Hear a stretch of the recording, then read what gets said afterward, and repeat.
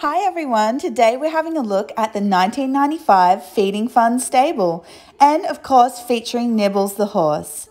Look at his house, it's got all these beautiful items on display, his trophy. We have his friend over here as well. And we have this amazing feeding station here. You just press down on this button and it distributes the vegetables for the horses to eat. Here we go, some delicious broccoli and grapes. Now the horses are going to have a drink of water. Ah, nice fresh water. And they can get their manes combed by Barbie. Beautiful and shiny. And we even have some pretty hair clips. Some more feeding stations.